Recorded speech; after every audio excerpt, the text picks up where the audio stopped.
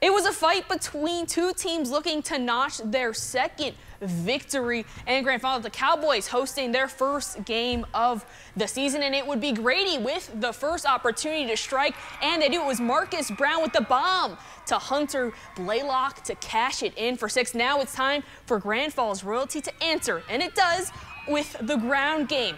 Jaden Martinez with the 30-yard dash and some slipping and sliding to tighten this score up 8 to 6. No defenders were taking him down on that big run. And it was a back and forth one early because this time the Wildcats want to show off their ability to run the football too. It's Hunter McNally who runs the ball in for 30 yards and finds the end zone for the 14-6 lead. And well, this game started to separate with the Grand Falls turnovers, and it was another score for McNally who rushes it into the touchdown. And it was really all ground game as the Hunter show continued. This time it was Blaylock finding the end zone, this time on the ground rather than through the air for the 30-6 lead at the end of the first.